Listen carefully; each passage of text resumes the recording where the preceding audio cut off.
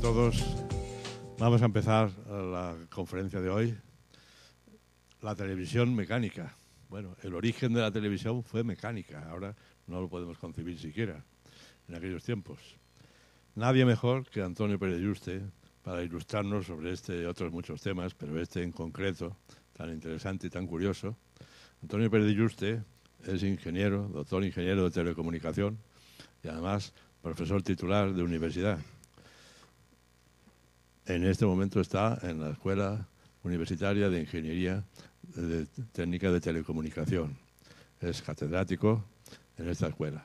Tiene muchas publicaciones al respecto. Es un verdadero experto, no precisamente en televisión solo y únicamente, sino en muchísimos más temas, en todos los temas de telecomunicación. Ese mundo tan avanzado que tenemos en este momento y que avanza sin parar. Pues tenemos aquí nosotros un especialista que nos va a ilustrar. Muchas gracias, Atanasio. Telecomunicación, en este caso también, pues veo muy lejos a todos. Eh, siempre es habitual encontrarme con este temor a las primeras filas. Y lo primero que hago en clase, si es que estuviera en ella, es pediros, pediros a todos que avancéis unas cuantas filas. Pero como no estamos en clase, practicaremos la telecomunicación. Muy bien, pues eh, voy a hablaros de la eh, televisión mecánica, eh, que es como se conocen, como se conoce a la televisión primigenia, a la que existía anteriormente a la televisión convencional, la de tubo de rayos catódicos y tubos de cámara. Bueno, ya ni eso, porque ahora estamos en este estadio de la evolución tecnológica donde hablamos ya de LCDs o Liquid Crystal Displays, eh, hablamos de TFTs eh, y cosas similares. Y eh, antes que esto, antes que esto, mucho, mucho, muchísimo antes que esto, antes incluso de lo que a veces se concibe, existió un tipo de televisión que funcionaba a base de elementos mecánicos, de poleas, discos, cuerdas, y con una forma ingeniosa de componer eh, todos estos elementos mecánicos se podía transmitir la imagen a distancia.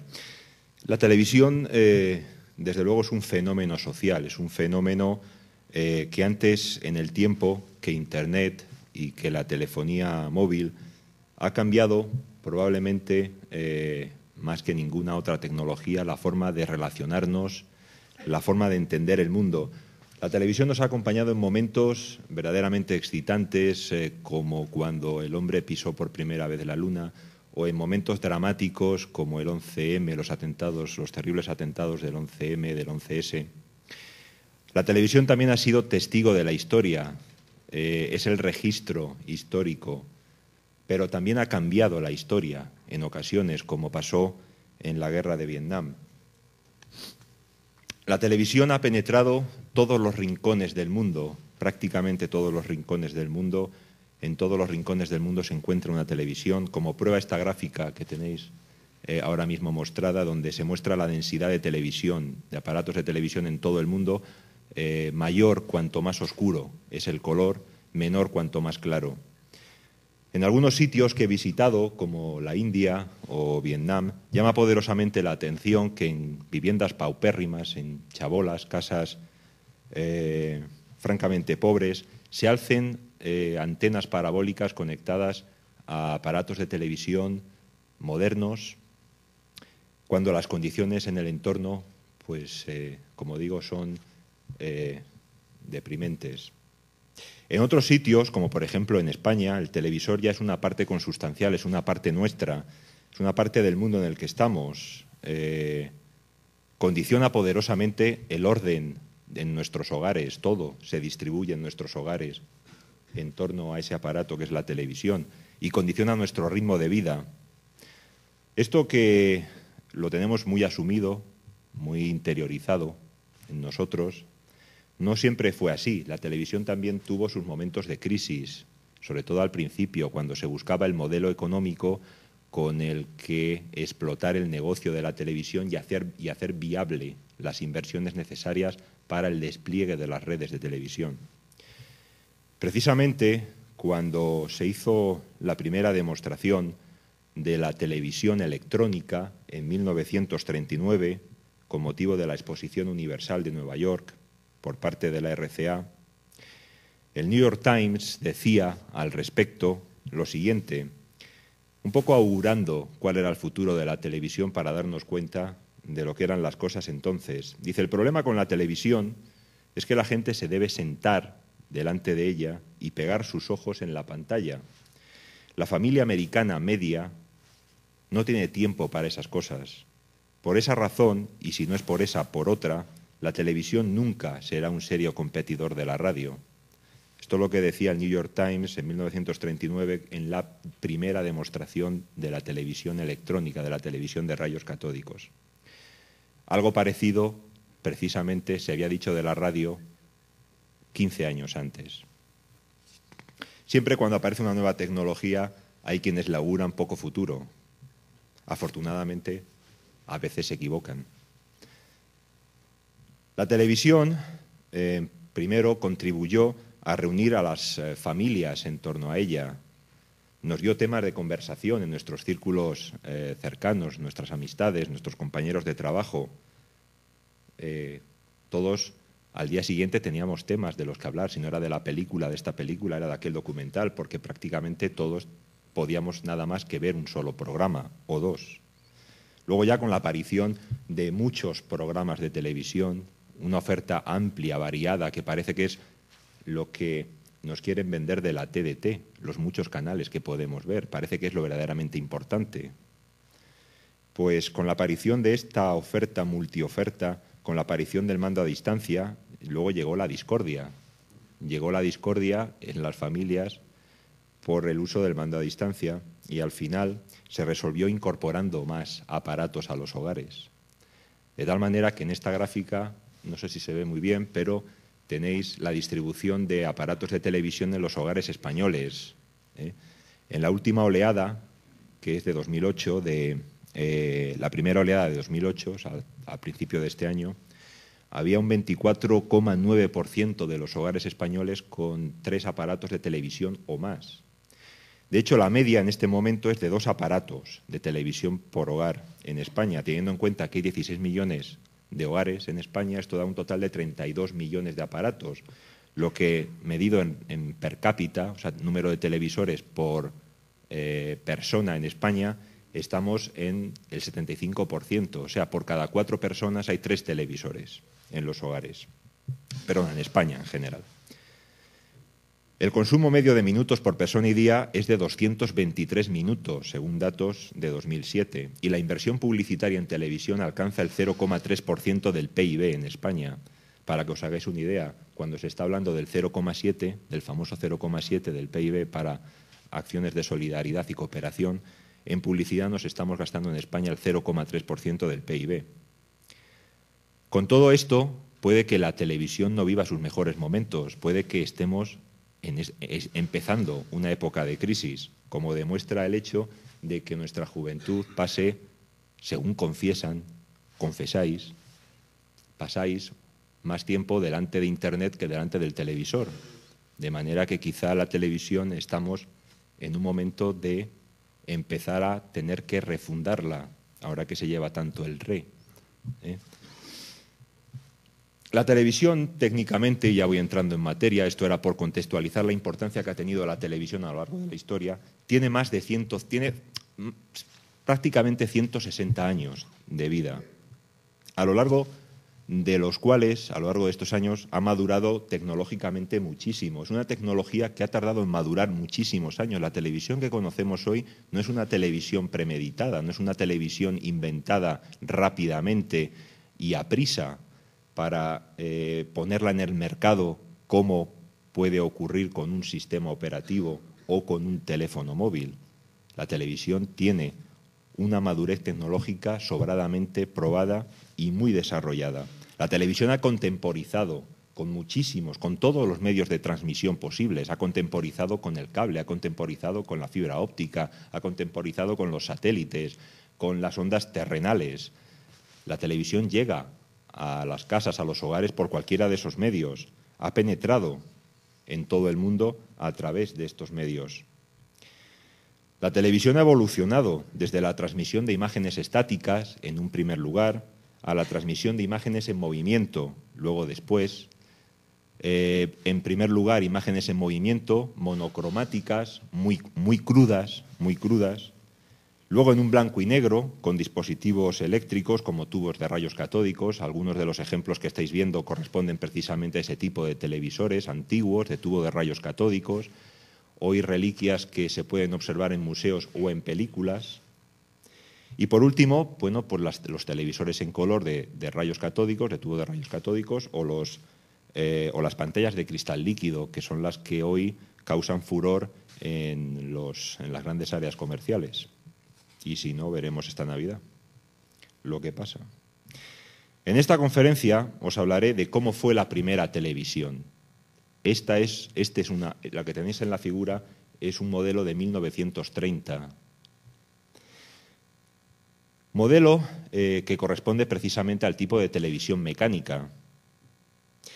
Televisión mecánica que es el término que se utiliza para definir, para definir aquellos eh, televisores anteriores a los eh, televisores de tubos de rayos catódicos y a las cámaras de televisión donde se utilizaban tubos como el iconoscopio o similares.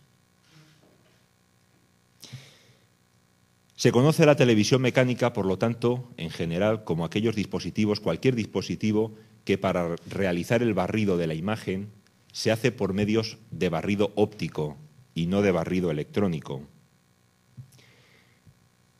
Os presentaré, eh, porque sería imposible, os presentaré dos, básicamente dos técnicas de barrido óptico, eh, por lo tanto de televisores mecánicos, aunque hay muchos más, lo que pasa que la extensión de esta conferencia no da para tanto, os hablaré de los dos principales, de los dos más importantes, y luego terminaré mi exposición eh, precisamente viendo junto con vosotros una película en este televisor, veremos juntos una película que se realizó es profeso para vender este televisor, película realizada en 1930.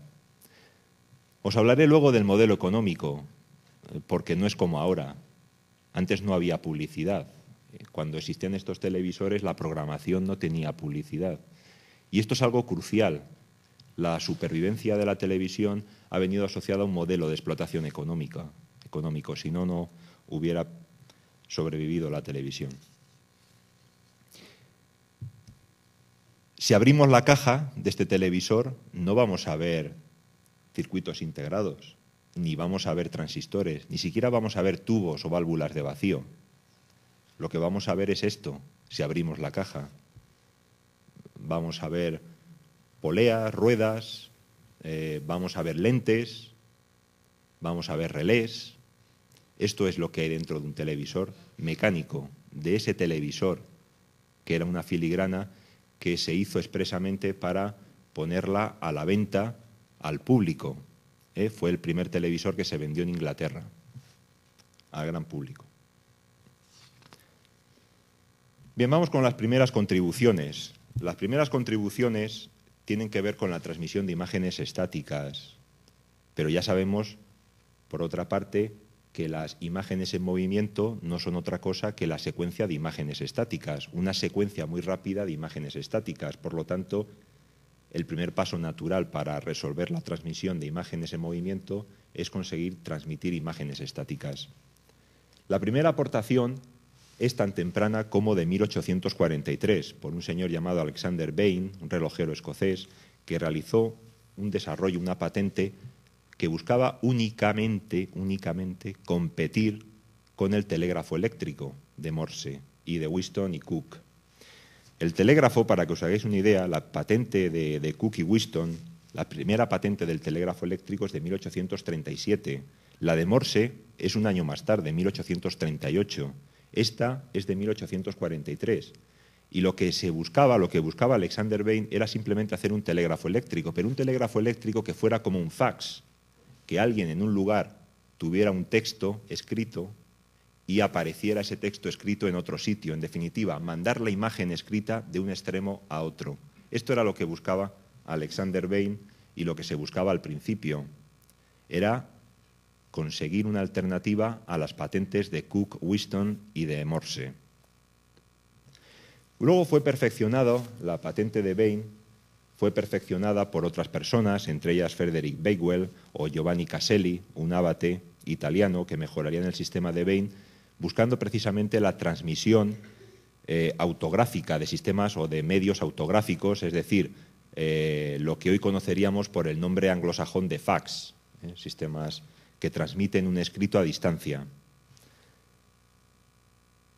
Bien, eran sistemas un tanto rudimentarios y bastante dificultosos en cuanto a la transmisión de la imagen, pero quiso el azar, quiso el azar y a veces el azar acompaña, y es lo que se llama en el argot anglosajón el serendipity, quiso en este caso las circunstancias que un telegrafista británico trabajando en la línea telegráfica submarina transatlántica, la que unía Europa con América, que eh, buscara un medio de introducir una resistencia en cierto circuito utilizando un material que era el selenio. De modo que, casualmente, cuando abrió la ventana del taller donde se encontraba y entró la luz exterior, de repente la conductividad de aquel material aumentó y descubrió sin quererlo el efecto de la fotoconducción o el efecto fotoconductor. Es decir, materiales cuya resistencia o cuya, o cuya conductividad cambia en función de la intensidad de luz. Esta propiedad luego fue documentada por una persona con una formación ya eh, técnica, por un ingeniero eléctrico que era Will, Willoughby Smith, ese nombre eh, difícil de pronunciar, y luego eh, perfeccionado mediante un dispositivo que los hermanos Siemens, Werner y Karl dieron en llamar ojo artificial. Bien, con este ojo artificial, patentado por eh, los hermanos Siemens en 1876, un año después, el americano George Carey concibió el sistema de transmisión de imágenes a distancia, que es tremendamente sencillo. Cuando se sabe, cuando se ve, es tremendamente sencillo y a partir de este momento fue cuestión de desarrollarlo, de desarrollar la idea. Consiste en lo siguiente, si tenemos un elemento cuya resistencia varía con la luz y lo intercalo en un circuito eléctrico, resultará que la corriente eléctrica variará también conforme varíe la luz, que es el dispositivo que tengo a la izquierda, dibujado. Tengo una batería en la parte superior que se cierra en este circuito primario a través de la célula de selenio, de manera que, imaginemos llevándolo al extremo, que cuando hay luz, la célula de selenio tiene una conductividad muy alta, es un cortocircuito, y cuando no hay luz, no tiene conductividad, es un circuito abierto. De manera que cuando hay luz, se activará el relé y cerrará el circuito secundario encendiendo una lámpara y cuando no hay luz el relé permanecerá abierto y la lámpara estará apagada. He conseguido transmitir, en este caso, la luz a distancia por medios eléctricos. Simplemente esta es la idea que concibió Carey y que le permitió desarrollar un sistema de televisión rudimentario pero muy, pero muy ingenioso. Porque ahora todo lo que tenía que hacer era en lugar de utilizar una, célula de selenio, utilizar una matriz de células de selenio. Lo único que tenía que hacer era descomponer la imagen en píxeles. Bien, precisamente ya sabéis que toda imagen se puede descomponer en un conjunto finito innumerable de elementos muy pequeños llamados píxeles, ¿eh? término además que por cierto viene de la contracción anglosajona de dos palabras. Por un lado, pix, que significa picture, imagen, y por otro lado, element, eh, por lo tanto, elemento de imagen sería la traducción de píxel. Bien, eh, el tamaño del píxel, por lo tanto, determina la resolución de la imagen. Cuanto más pequeño sea el píxel, mejor imagen tendremos, pero más celdas tendrá el panel o la matriz de, células de selenio. hubo una persona en 1908, Selford Bidwell, que determinó que que aproximadamente harían falta para poder transmitir con cierta nitidez una imagen, harían falta tener del orden de 90.000 píxeles. Para que os hagáis una idea, un televisor LCD moderno tiene más de 2 millones de píxeles de los que ahora se compran en la tienda.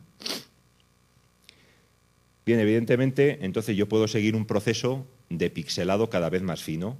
¿eh? Por ejemplo, yo puedo empezar a hacer celdas cada vez más finas, con lo cual aumento el número de células, pero aumento también a su vez la calidad de la imagen. ¿eh? Entonces, esto es un compromiso, simple y llanamente es un compromiso. Mayor calidad, mayor número de celdas, mayor número de células de selenio o posteriormente luego ya se cambiaron las células de selenio por otros materiales que reaccionaban más rápidamente a la luz, como el potasio. Bien, en definitiva, podemos elegir entre el pixelado que queramos, más grosero o más fino, para conseguir matrices de este estilo. Y esto fue lo que planteó Carey. Simple y llanamente dijo, a la izquierda lo que tengo es una matriz de células de selenio, a la derecha tengo una matriz de lámparas, y cada par, y cada par, célula de selenio, lámpara, tiene un circuito como el que hemos visto antes. Claro, ¿esto que implica? Que para unir el transmisor que está a la izquierda con el receptor que está a la derecha, tengo que llevar un cable desde cada célula de selenio hasta cada lámpara. Si estamos diciendo que necesitamos del orden de 90.000 elementos de imagen, harían falta 90.000 cables uniendo el transmisor con el receptor os podéis imaginar que esto es inviable, tener 90.000 cables uniendo un sitio con otro, si además eso es, si esos están colocados en sitios remotos. Y eso si pensamos en una transmisión de un punto a otro punto, lo que llamamos transmisión punto a punto. Si pensamos en una radiodifusión, en un broadcasting, en ese caso sería impensable.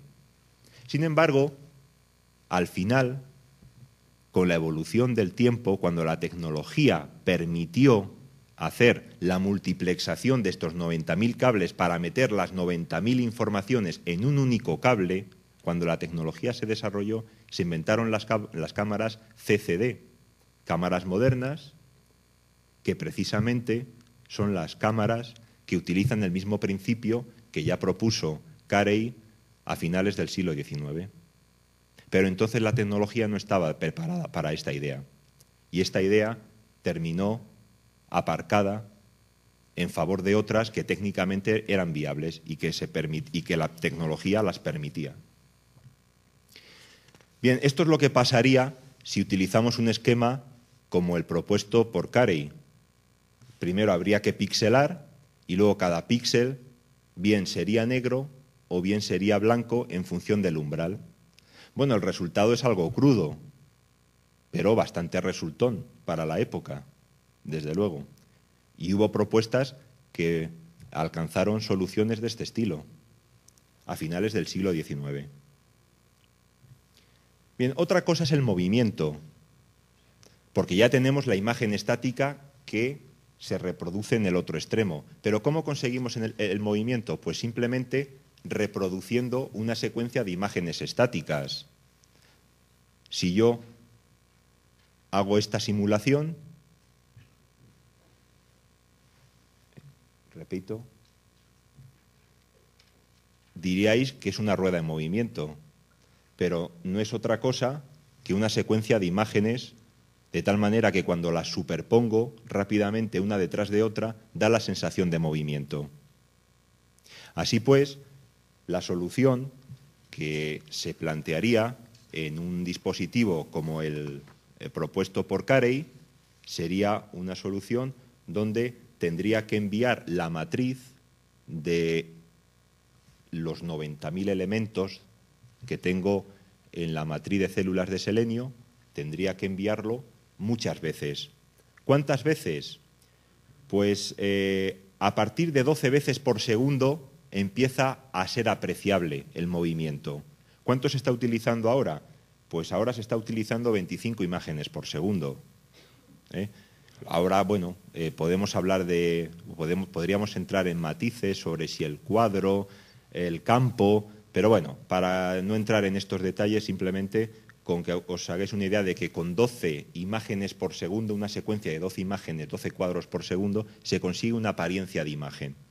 O sea, que esto exige, esto exige fijar, si tengo 90.000 píxeles enviando cada matriz, cada cuadro o imagen a 12 veces por segundo, esto exige que cada píxel tenga que representarlo un millón de veces por segundo. Es decir, tendría una frecuencia de representación de un megahercio, frecuencias francamente eh, inalcanzables. Así pues, a partir de la década de 1880, finales del siglo XIX, pues empezó, empezó a extenderse ya la necesidad, empezó a extenderse la necesidad de desarrollar alguna clase de mecanismo, de mecanismo técnico que permitiera hacer eh, la división de la imagen en píxeles y luego la transmisión de cada píxel uno detrás de otro, uno detrás de otro, para que en el receptor yo cogiera todos esos píxeles y, y los recompusiera como si de un rompecabezas se tratara. Y todo esto hacerlo con suficiente velocidad para que dé sensación de movimiento la imagen como si lo estuviera viendo en realidad. Esta es la idea. Bien, afortunadamente Bain y Backwell, de los que ya hemos hablado, en sus eh, sistemas eh, autográficos habían propuesto que esta operación se podía hacer no píxel a píxel, sino línea a línea, barriendo la imagen línea a línea como tenéis a la izquierda. Aquí, claro, yo puedo coger pocas líneas o puedo coger muchas líneas y puedo ir barriendo líneas una tras otra muy juntitas. ¿Qué pasaría? Pues pasaría algo como esto.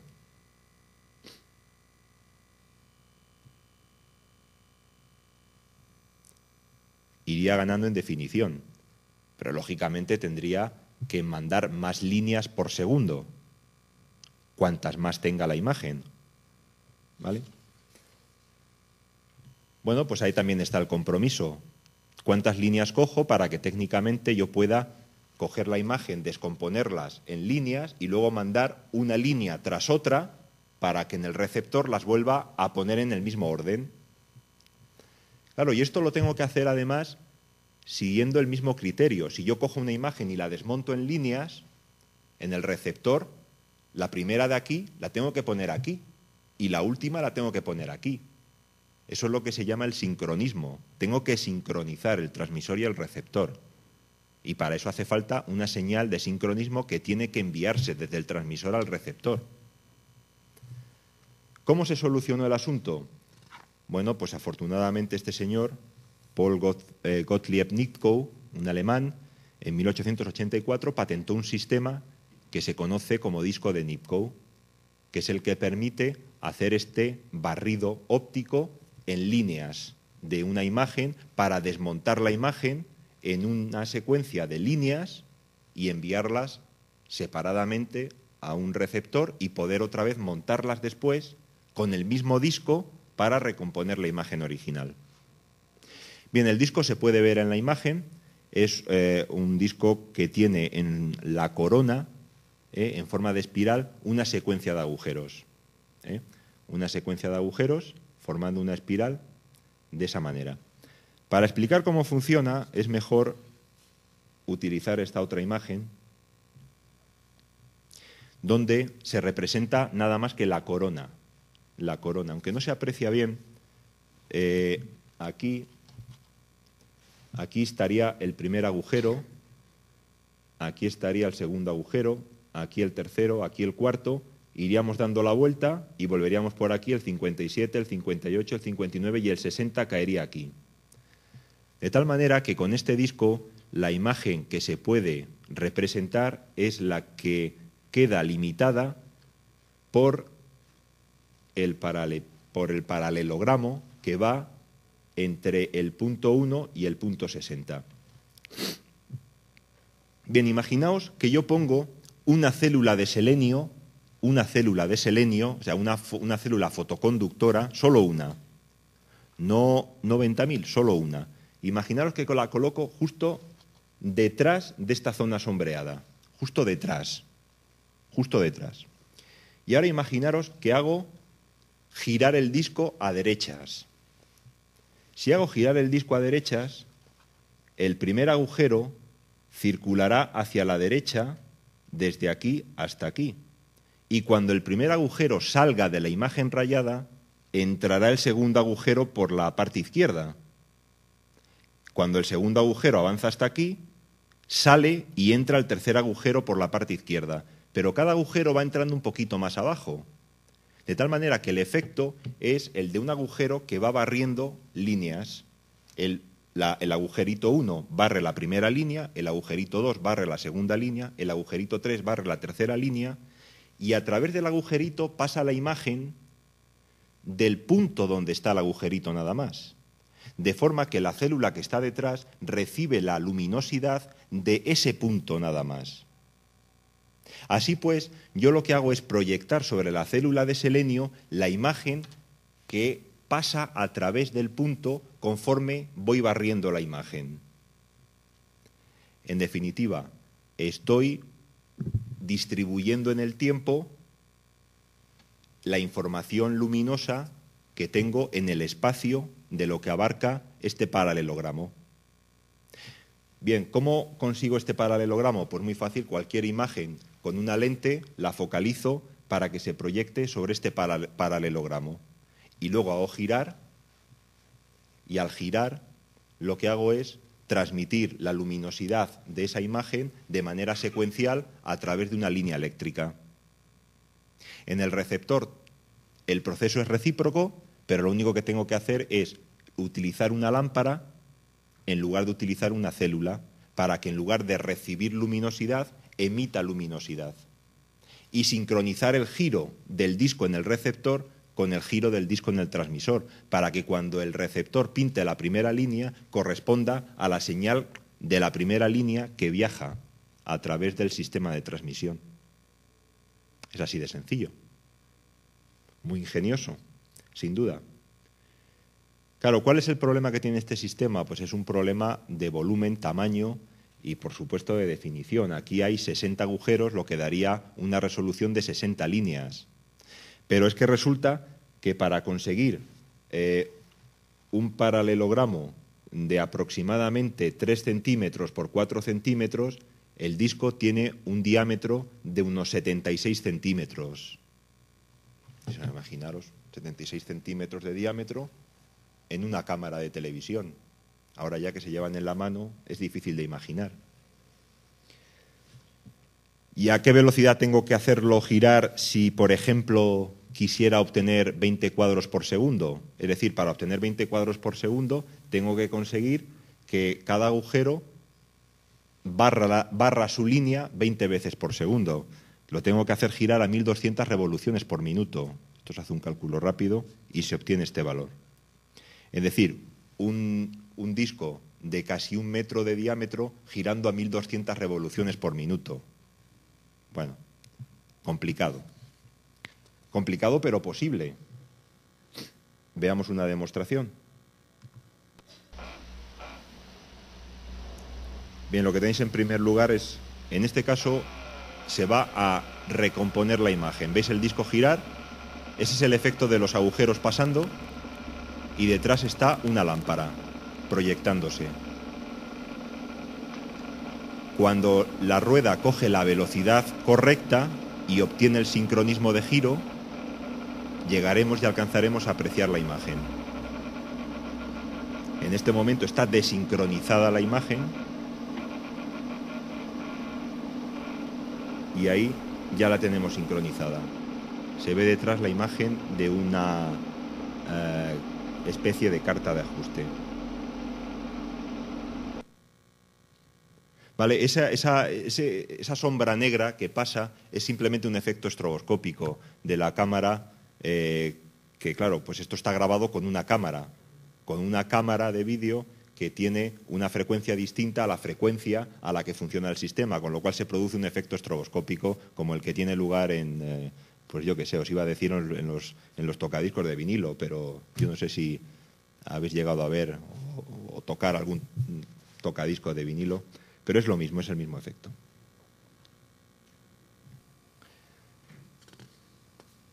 Bien, utilizando el disco de Nico, este señor eh, John Logie Baird, en 1923, presentó una especificación provisional de lo que sería eh, su primera patente de televisión, que luego le, otorgaría, le otorgarían en 1924. Este señor era, eh, se bueno, tenía, había empezado sus estudios, no los llegó a terminar debido a la Primera Guerra Mundial. era un viajante que se dedicaba a vender calcetines y ropa interior, pero eh, tenía la desgracia de que tenía una mala salud. Y entonces el estar por los caminos de Inglaterra pues era insufrible para su estado físico y decidió retirarse a la costa del sur de Inglaterra y allí se dedicó a pensar en un sistema que le sacara de pobre. Y ese sistema era la televisión. Eh, se trasladó a Londres cuando ya tuvo un sistema y allí en Londres se dedicó a vender, a vender la televisión que había inventado. Y encontró una gran oportunidad. Y la gran oportunidad fue, eh, por así decirlo, la Semana Fantástica. El business, el, le llaman los ingleses, el, em, a ver si me acuerdo ahora, em, ahora no me, no me acuerdo el nombre, pero es una semana fantástica que tienen los grandes almacenes Selfridge en Londres.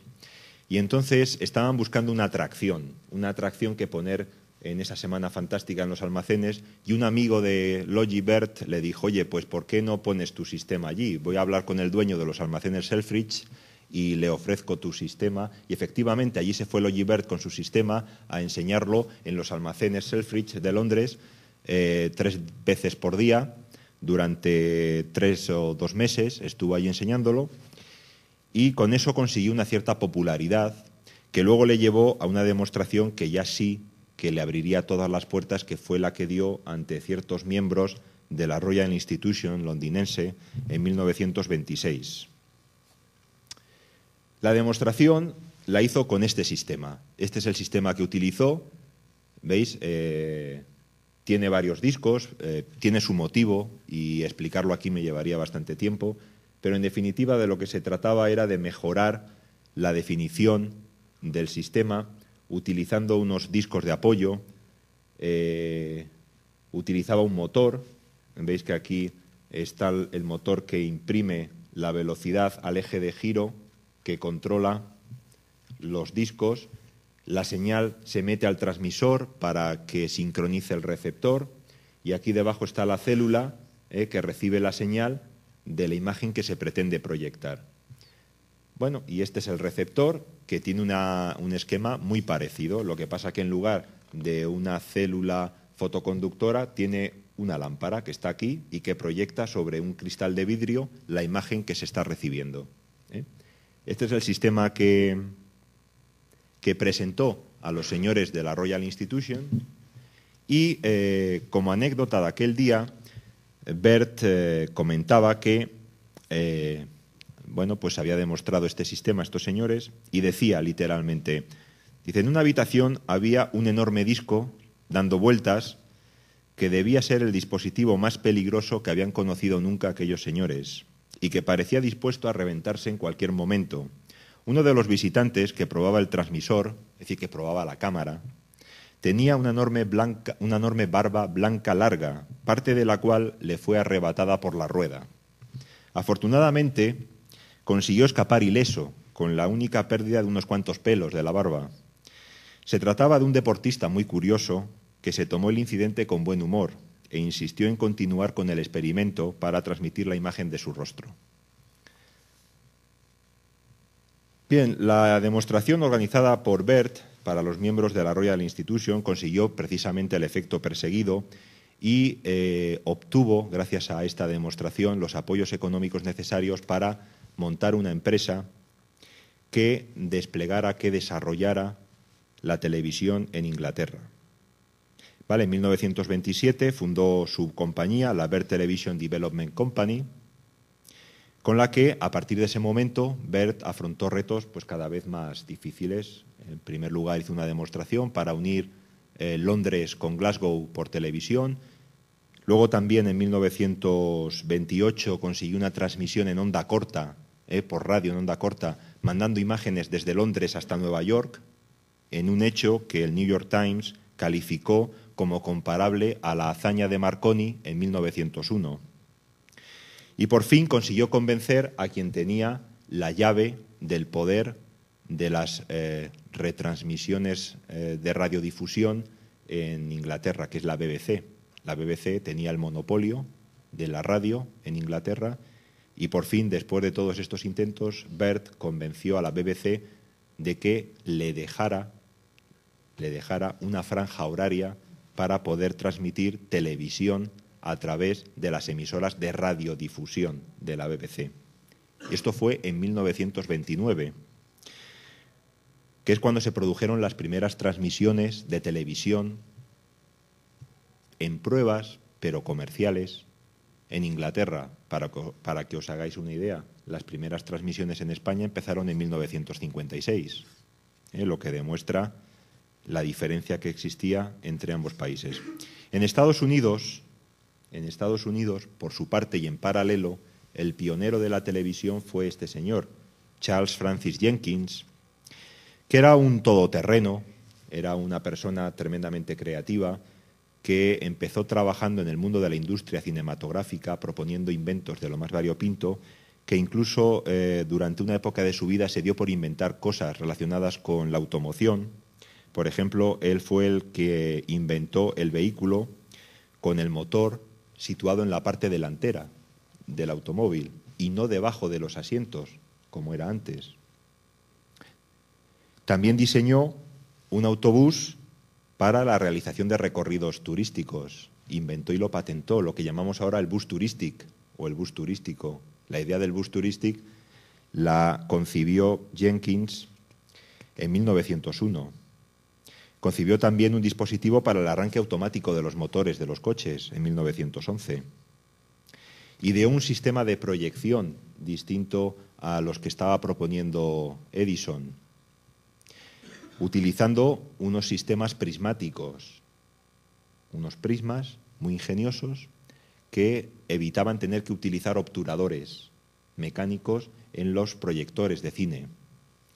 Esos mismos eh, dispositivos prismáticos, ese mismo disco prismático, fue el que de repente se le ocurrió que podía utilizarlo para conseguir hacer el barrido línea por línea de una imagen, en lugar de utilizar el disco de Nipkow o utilizar un disco prismático. El disco prismático lo tenéis a la izquierda. Es un disco prismático, que es un disco de cristal. Lo que pasa que en su corona, en la corona exterior, lo que lleva es un prisma de inclinación variable, de tal manera que a medida que avanzamos en el giro del prisma, la inclinación va variando, de forma que la deflexión, es decir, la refracción de un rayo de luz que incidiría sobre la corona del disco de cristal o del disco de vidrio, se deflectaría en un ángulo distinto en función de la posición del disco. Es decir, lo que tenemos en la corona es un disco de eh, ángulo variable, variable progresivamente en función del ángulo. Así pues, si un rayo de luz se proyecta sobre la corona y yo hago girar el disco, el rayo de luz lo que hace es esto. ¿Vale? Estoy consiguiendo una deflexión. Si ahora pongo otro disco para que deflecte en este sentido y superpongo esta deflexión con esta deflexión, lo que, consigo es barrer una imagen completa, que es lo que está haciendo Jenkins a la derecha, con dos discos prismáticos que están colocados aquí. Aquí en esta figura se aprecia mejor. Los tengo que poner de esta manera. Si los pongo de esta manera, con el eh, disco, con el disco número 3, consigo la deflexión en vertical y con el disco número 2 consigo la deflexión en horizontal. Si ahora la deflexión en horizontal va más rápida que la deflexión en vertical, el efecto será este. iré de arriba abajo barriendo toda la imagen. Bien, pues de esta, de esta forma consigue lo mismo que con el disco de Nitko, pero con una tecnología distinta y es con un disco prismático que también patentó y con el que también desarrolló sus primeras emisiones de televisión de carácter experimental. La, patente la presentó en 1922 y la obtuvo, tuvo la concesión oficial en 1925. Entre las dos fechas pues, se dedicó a hacer experiencias para todo el mundo, eh, sobre todo para la Marina. Él estaba localizado en Washington y en Washington eh, tenía acceso a la Marina norteamericana con la que realizó distintos experimentos, como por ejemplo la transmisión de cartas meteorológicas a los barcos de la Marina desde la costa se enviaban por radio cartas meteorológicas a los barcos de la Marina. Incluso el secretario de la Marina, cuando vio aquello, exclamó, me imagino sentado en el despacho durante la próxima guerra, había pasado ya la Primera Guerra Mundial, viendo cómo evoluciona la batalla, a lo que Jenkins le contestó, eso es perfectamente posible, señor secretario es perfectamente posible como que lo hemos vivido durante la guerra de Irak. Desde luego, todos, no solamente el presidente de Estados Unidos y el secretario de la Marina. Bien, en la imagen veis a Jenkins en la izquierda con un, con un sistema de televisión que él bautizó como radiovisor, eh, un sistema real, y a la derecha una revista de la época, de esas de divulgación, pues eh, recoge precisamente en 1926 recoge el modelo de Jenkins de una manera artística bastante exagerada. ¿eh? Como veis aquí, dice, soon this is so sudden. Pronto esto será posible o esto sucederá. En 1926.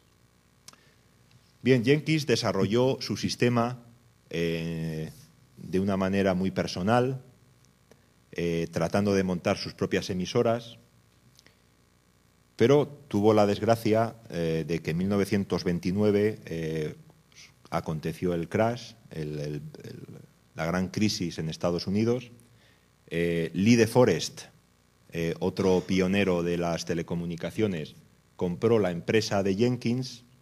Lee de Forest quebró y al quebrar la RCA compró el sistema de Jenkins, pero como la RCA estaba involucrada en un desarrollo de una televisión electrónica, lo que hizo fue aparcar el sistema de Jenkins. Por lo tanto, el sistema de Jenkins acabó en una estantería y no tuvo más futuro. Quien sí tuvo más futuro fue Bert, fue Logie Bert, quien a partir de 1929 empezó a, realizar eh, transmisiones eh, utilizando los estudios eh, de la BBC en Savoy Hill. Primero, fueron unos primeros estudios que montó la BBC bastante, bastante rudimentarios, en poco espacio. Pero bueno, empezó así y empezó en horario nocturno, cuando cesaban las emisiones de radiodifusión, porque la radio se emitía por el día y por la noche no funcionaba. A partir de las 11 de la noche ya no se emitía más radio. Entonces Bert lo que le propuso a la BBC es que le dejara a partir de las 11 la frecuencia y los equipos para transmitir sus programas de televisión. Y así empezó a transmitir sus primeras emisiones. ¿Cómo sufragaba los gastos? Pues esto es lo que os decía antes del modelo comercial. ¿Cómo se pagaba todo esto? Pues fijaos, el primer modelo comercial que se estableció fue el siguiente, a través de la venta de receptores. El negocio estaba en la venta de receptores, de tal manera que con la venta de receptores se obtenía el dinero suficiente para mantener todo el sistema. Claro, esto obligaba a ofrecer algo atractivo a los usuarios para que compraran receptores, porque si no compraban receptores no se tenía dinero para desarrollar el sistema. Así pues, BERT necesitaba imperiosamente tener una programación atractiva, tener una programación atractiva para que los usuarios compraran televisores con los que ver esa programación.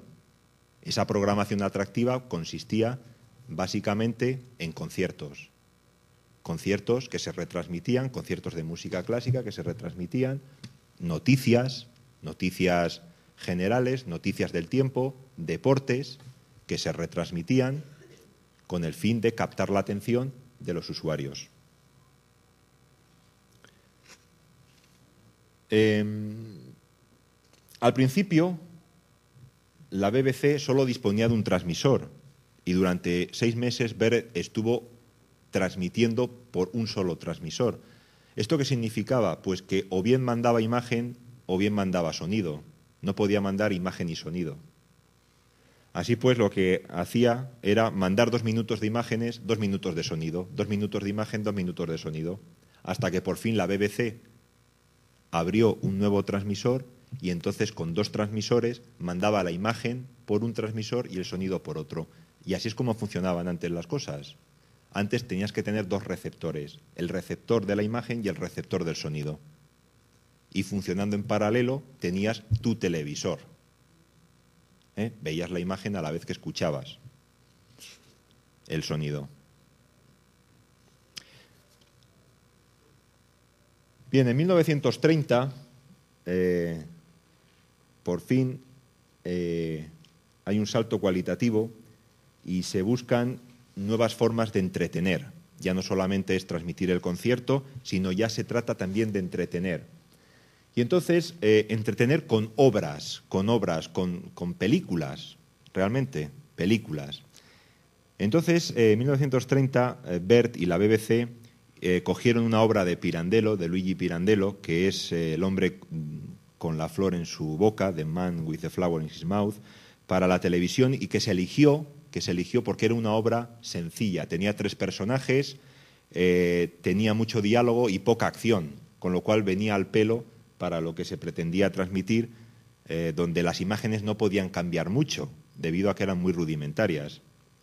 La emisión fue anunciada con un mes de antelación como cosa estelar.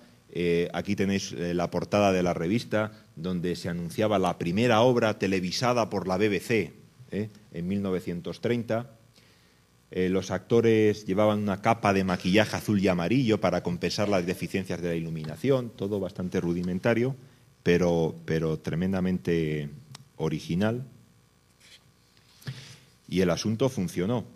No se puede decir que fuera la primera obra eh, o la primera película transmitida por televisión, porque eh, en esas pruebas experimentales que estaban teniendo lugar en Estados Unidos, en 1928 ya se había hecho esta demostración, ya se había retransmitido una obra, eh, una, obra, una película, se había retransmitido en Estados Unidos que se titulaba El mensajero de la reina.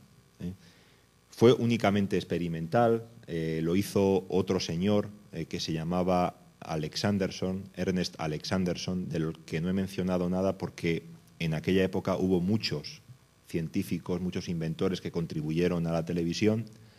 Y Alexanderson lo que utilizó fue un disco de Nipkow, realmente. Y gracias al apoyo de la General Electric, pues consiguió hacer algunas demostraciones.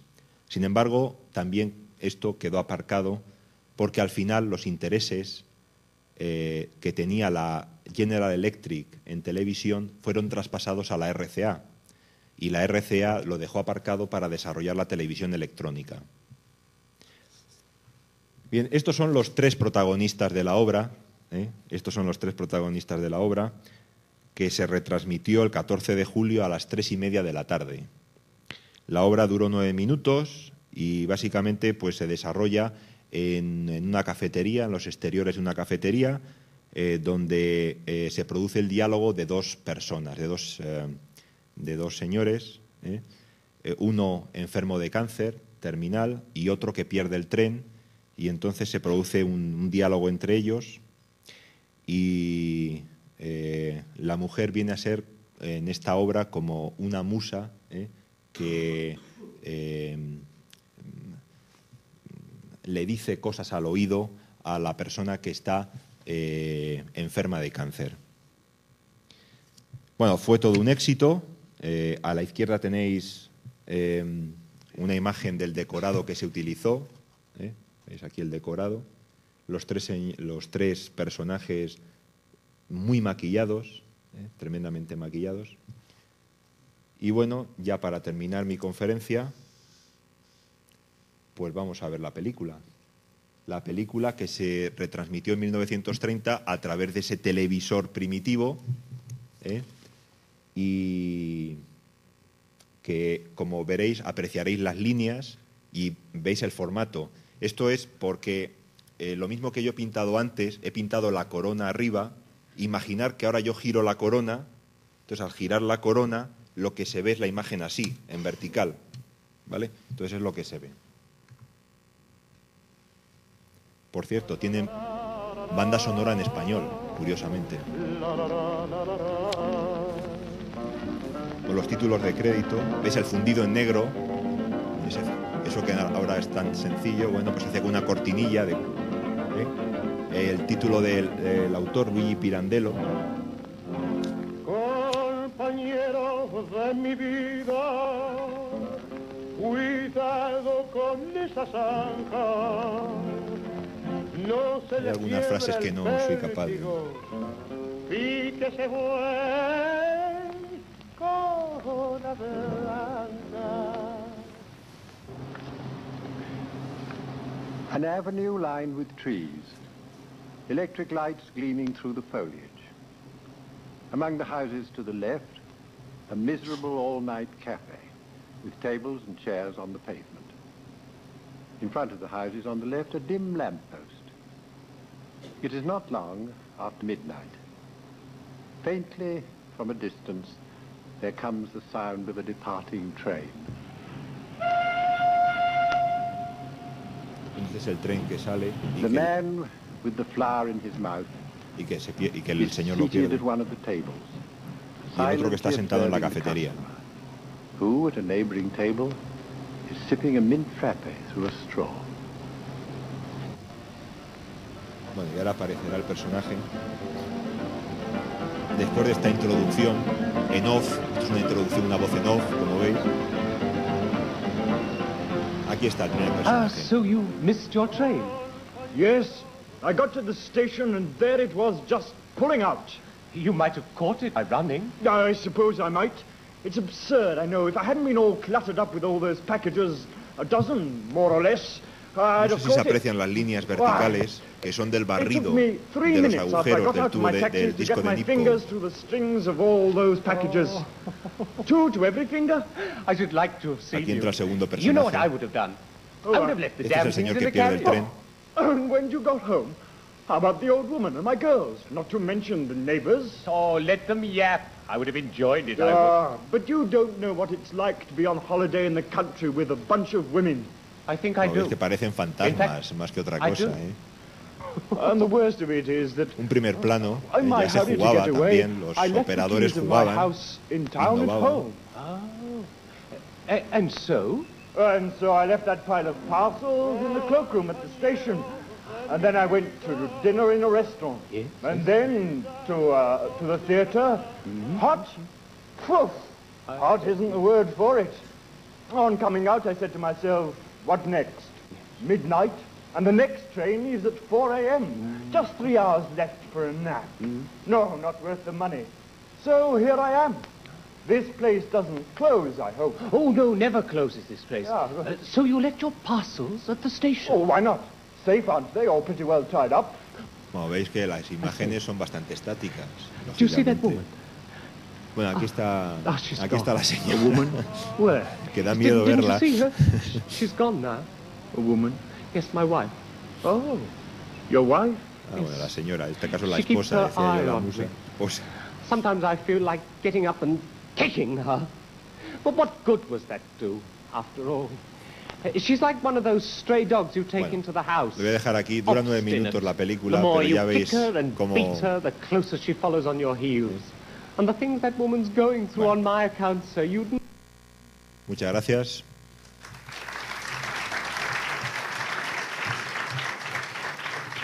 Bueno, de todas maneras, os diré, os diré, por si os interesa, que esta película se encuentra donde se encuentran todas las películas, y es en YouTube. Ya está subida a YouTube. ¿eh? Esto lo hizo eh, un investigador, eh, David McLean, hizo una restauración bastante importante y, bueno, pues eh, ya ha habido quien la ha subido a YouTube, así que directamente si ponéis el título de la película en YouTube os la encontraréis. ¿Vale? Nada más. Bueno, pues vamos a ver el coloquio. La conferencia ha sido sumamente interesante. No nos imaginábamos, yo por lo menos, cómo había sido el principio de la televisión. Y además toda esa tecnología, cómo ha ido avanzando desde, desde lo más rudimentario hasta la televisión actual de cristal líquido. Muchas cosas las hemos vivido, yo por lo menos. Bueno, vamos a ver cuál es el coloquio, cuáles son las preguntas, pues se pueden hacer. Vamos a ver la primera.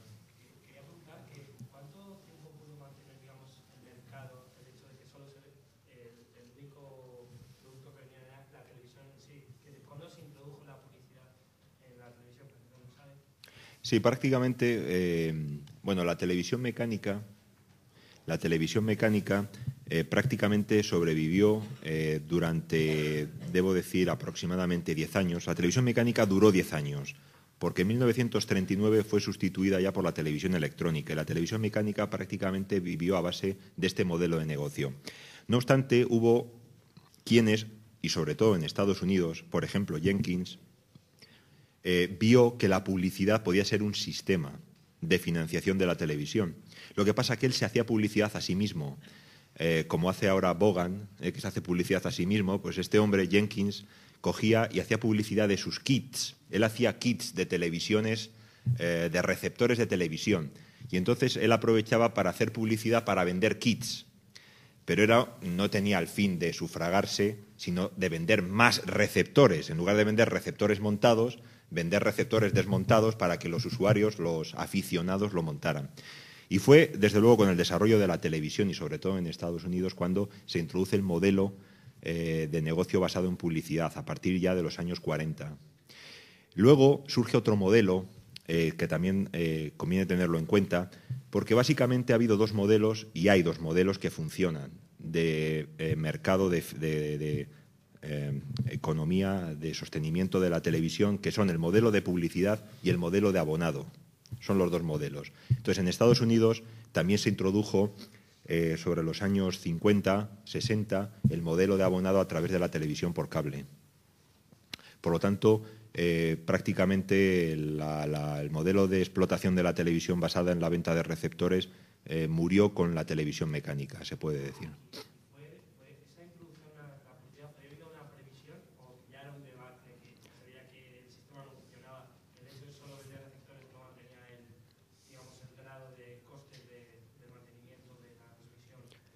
Sí, no. Em, cuando todo esto eh, se vio muy crudamente fue en el desarrollo de la televisión electrónica. La RCA, que fue eh, la empresa que en Estados Unidos desarrolló la televisión electrónica y que prácticamente marcó el paso al resto de los países del mundo, eh, casi se arruina, casi se arruina desarrollando la televisión electrónica.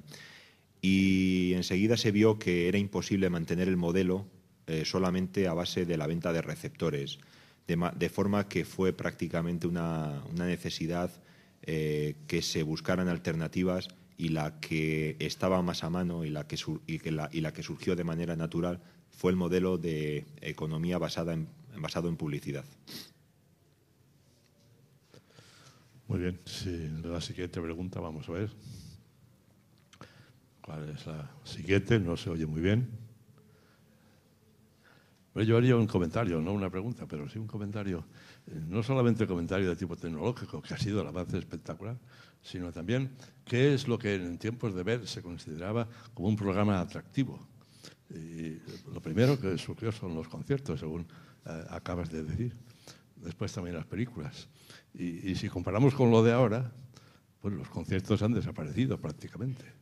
Y eso que tienen, hay una orquesta que se llama pomposamente Orquesta de Radio y Televisión Española, pero luego resulta que no se ve ni un solo concierto de esa eh, fantástica orquesta.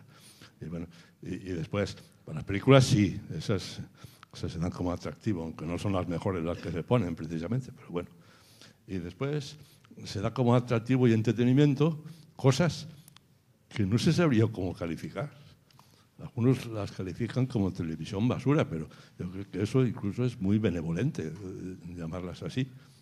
Es decir, que eh, lo más atractivo eh, ha evolucionado y, no precisamente a mejor, yo creo, en este momento, es una opinión particular, pero es posible que lo que decías tú, de que estamos en época de refundación de la televisión, de empezar una televisión que realmente, pues no sé, tenga más interés. A lo mejor sí que viene ahora esa refundación que está, como decías tú, de moda, eh, eso de poner eh, el, prefijo re a todas las cosas. Pues puede ser que sí, siendo optimistas. Bueno, es un comentario. Vamos a ver quién, quién más quiere preguntar o comentar. ¿Algún ingeniero de telecomunicación futuro por aquí? A ver. Nico, sí. Se presentaba que el cuadrado del el cuadrado de selenio era de 4 centímetros por 3. Y supongo que será el por qué ahora las televisiones son de formato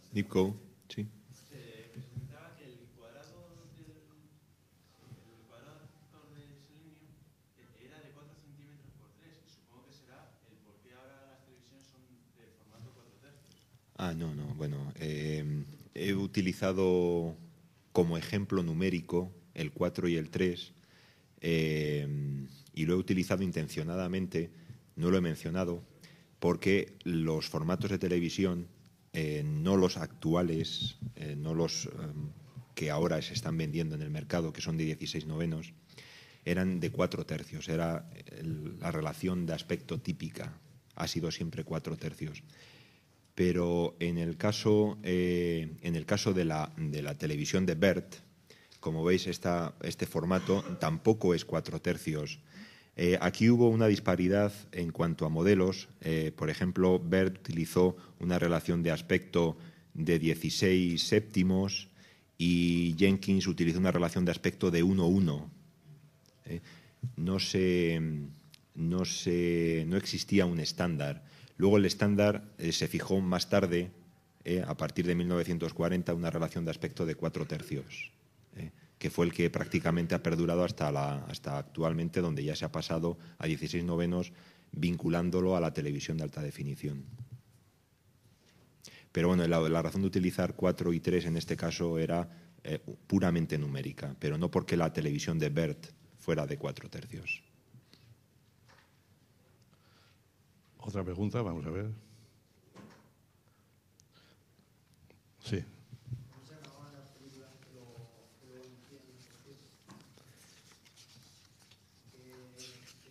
Bueno, el, eh, bueno, el asunto, el asunto, fíjate, eh, la emisión era en vivo, era en vivo.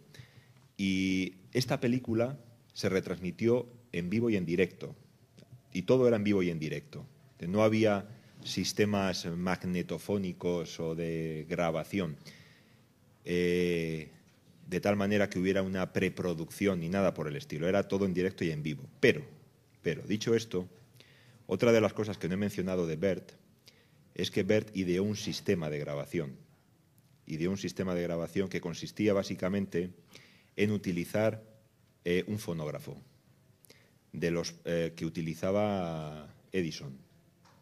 De forma que en lugar de grabar sonido, grababa imagen y quedaba grabada la imagen porque al fin y al cabo cuando la imagen es una señal eléctrica no tiene ninguna diferencia respecto a la señal eléctrica del sonido salvo que pueda tener frecuencias más elevadas. Pero en este caso eh, se utilizaban imágenes muy estáticas de manera que las frecuencias eran eh, muy bajas y se podían utilizar sistemas de grabación parecidos a los que se utilizaban en el sonido.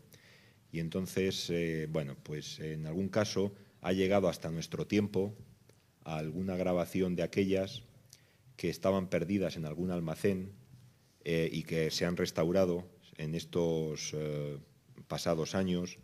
Eh, precisamente la persona que he mencionado, David McLean, es uno de los investigadoras, uno de los investigadores que ha estado dedicado a esta labor de restaurar algunas grabaciones que han aparecido de los años 30 y esta proviene precisamente de, una de aquellas grabaciones de los años 30 que se hizo eh, con uno de los fonógrafos de, de Bert. Interesante. ¿Alguna otra pregunta por aquí? Yo preguntaría también otra cosa.